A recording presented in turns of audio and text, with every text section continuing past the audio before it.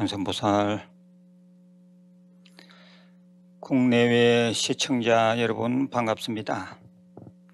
먼저 제가 만든 한자성어를 소개하겠습니다.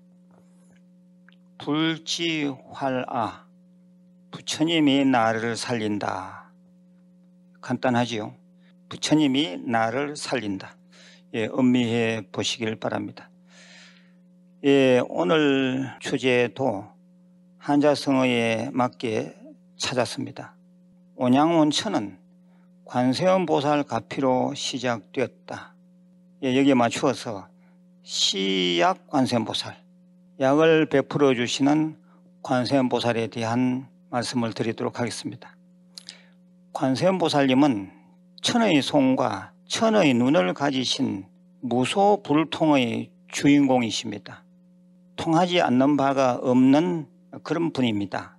그리하여 중생이 원하는 것은 다 들어주시는 분입니다.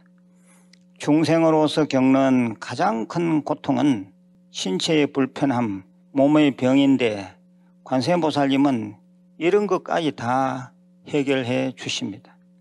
지극정성 관세음보살님께 기도해서 몸이 건강해지고 알던병이 사라졌다는 영험담은 예도 지금도 부지기수로 많습니다.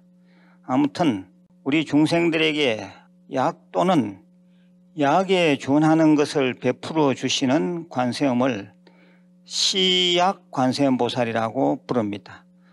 예, 시는 준다, 베푼다 그런 뜻이 있는 시자입니다. 베풀 시자입니다.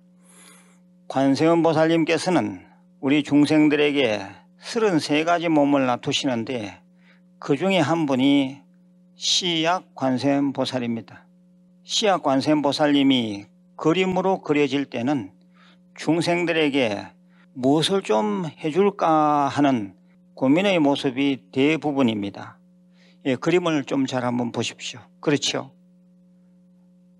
시약 관세음 보살님과 관계되는 이야기 하나를 해드리겠습니다.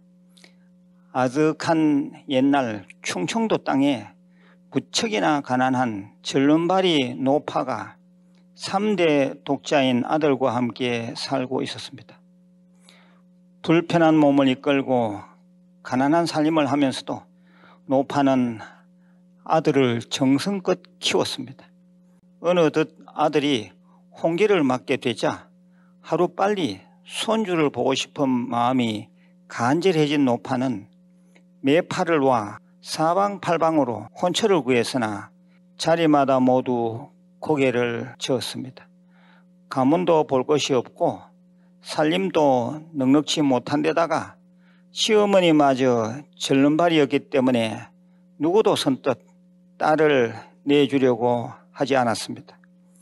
노파는 자신의 다리를 원망했습니다. 그러한 노파를 측은하게 생각한 중매쟁이는 좀 모자라는 처녀라도 그냥 며느리로 맡겠다는 다짐을 받고는 아랫마을 김첨지 집으로 갔습니다. 그 집에는 코찡찡이 딸이 있었기에 말만 꺼내면 성사가 될 것으로 믿었습니다. 그러나 김첨지는 다짜고짜 소리부터 질렀습니다. 그런 말을 두 번 다시 입 밖에 내지도 마시오. 원, 아무리 사윗감이 없기로서니 절름발이인 홀시어머니가 있는 집에 어떻게 딸 자식을 보내겠소? 중매쟁이는 이렇게 퇴짜를 맞고 이번엔 황영감 집으로 발걸음을 옮겼습니다. 그 집에는 팔 한쪽을 못 서는 딸이 있었습니다.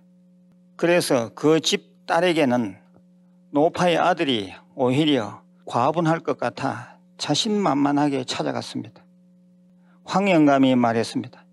가만히 있자 내 딸과 정혼을 하자고요.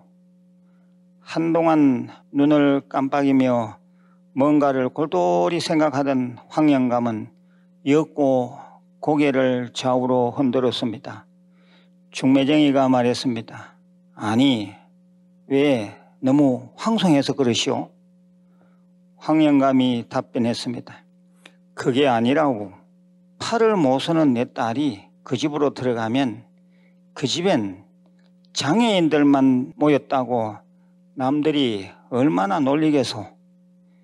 이리하여 중매쟁이는 그 집에서도 퇴짜를 맞고 절름발이 노파를 찾아가서 중매할 곳이 없다고 포기 선언을 하였습니다.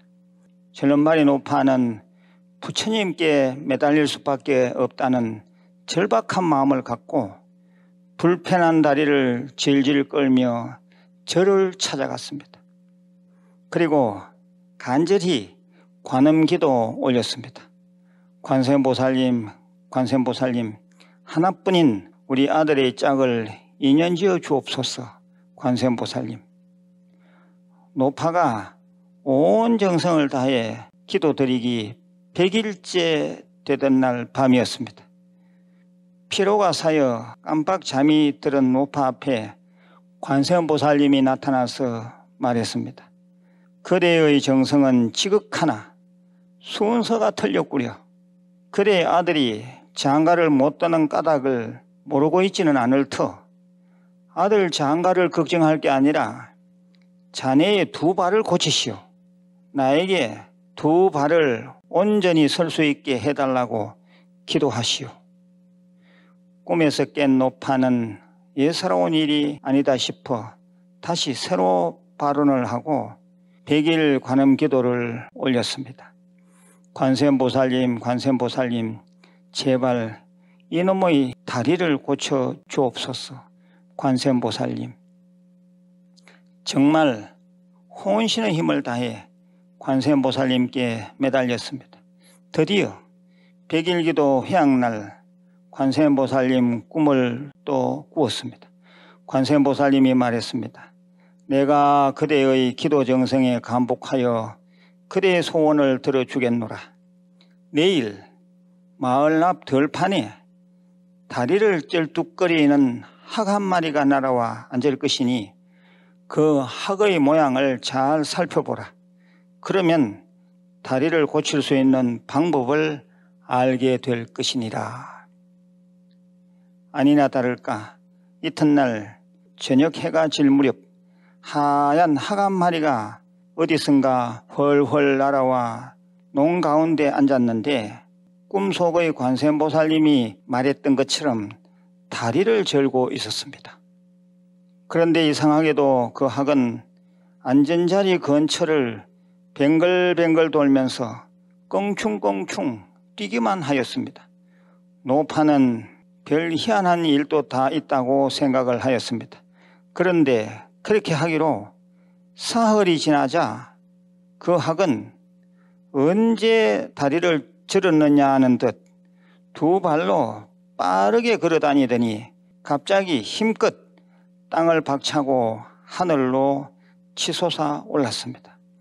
그 모양을 지켜보던 노파는 너무나도 신기한 일이라고 생각하며 급히 학이 뛰면서 맴돌던 논둑으로 쩔룩거리며 뛰어갔습니다. 아, 그런데 이게 무슨 일입니까? 여기 논에서 물이 펄펄 끓고 있었습니다. 기이하게 생각한 노파는 자기의 발을 물 속에 담부어 보았습니다. 정말 뜨거웠습니다. 알 수 없는 예감이 일었습니다. 뜨겁지만 이 물에 계속 담그면 발이 나을 것 같았습니다. 이를 악물고 담그는 시간을 많이 하려고 애를 쓰고 또 애를 썼습니다. 그러기를 10일 되던 날 신통하게도 노파에 절뚝거리던 발병이 씻은 듯이 나왔습니다.